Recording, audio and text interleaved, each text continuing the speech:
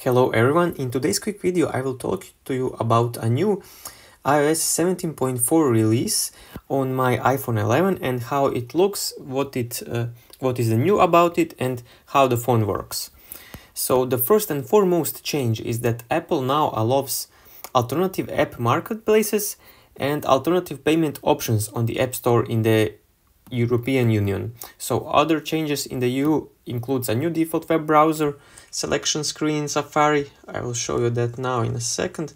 So when you open Safari, you can choose your own default browser. That's the new in this uh, release. And also the ability for third-party web browsers to use web engines other than Apple's WebKit on the iPhone.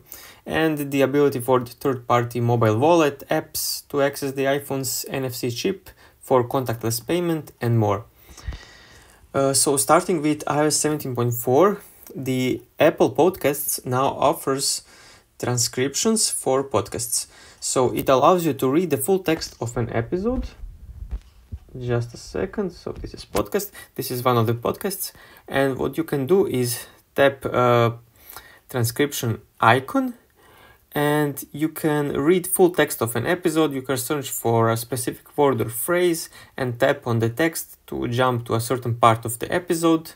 As an episode plays each word is highlighted similar to apple's music song lyrics. And basically that's it. Uh, the transcriptions are available for podcasts in english french german and spanish. ios 17.4 also adds new emojis that includes broken chain, uh, brown mushroom, lime, and and more. As you can see now in this example, these are the some of the new emojis. And also what we need to say is that battery health in settings shows battery cycle count, manufacturer's date, and first use on but that's just on iPhone 15 and 15 Pro models. Uh, stolen device protection supports the option for increased security in all locations. Until now, it was uh, it was in all familiar locations. Music recognition lets you add songs you have identified to your Apple Music playlists and library. And also stolen device protection. Now, yeah, yes, I already said that. But uh, on messages, Apple introduced PQ3, a new way to keep iMessage secure from advanced cyber threats, and it will replace the current security method slowly, starting with specific versions of iOS, macOS, iPadOS. And to use PQ3, everyone in an iMessage chat needs to update their devices to the right software version. And I believe that's it for this quick overview. So my phone my phone works perfectly as before. The battery I do not see any changes on the battery health.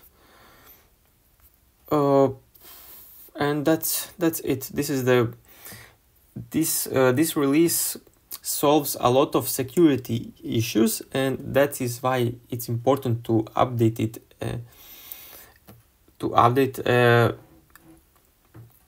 and the update so the update takes about 1.6 gigabytes so you can uh,